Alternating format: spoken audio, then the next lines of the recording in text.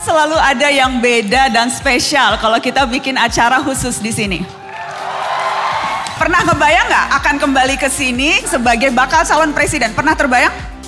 Kebayang sih akan kembali ke UGM, tapi nggak membayangkan suasananya semeriah ini. Mas Ganjar, harusnya bisa dites. Tempat paling romantis di kampus ini. Di mana Mas Ganjar? Buat saya, gelanggang mahasiswa. Paling romantis di gelanggang mahasiswa. Kantin yang paling murah dan paling enak di UGM.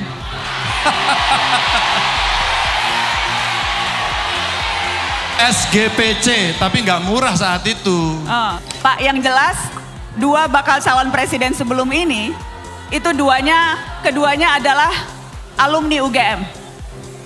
Bapak tidak gentar kan? Tidak.